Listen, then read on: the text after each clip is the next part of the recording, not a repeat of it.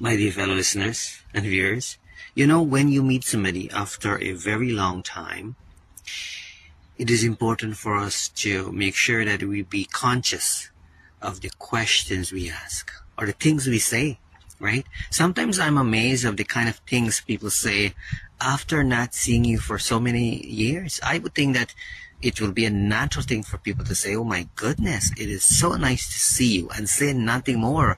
You will have people say things like, Oh my God, you know, you know, you get bald, you know, oh my God, you get old. We have to be very conscious of that because if that's how we tend to greet people, right, after seeing them for a very long time, we are really doing a lot of damages.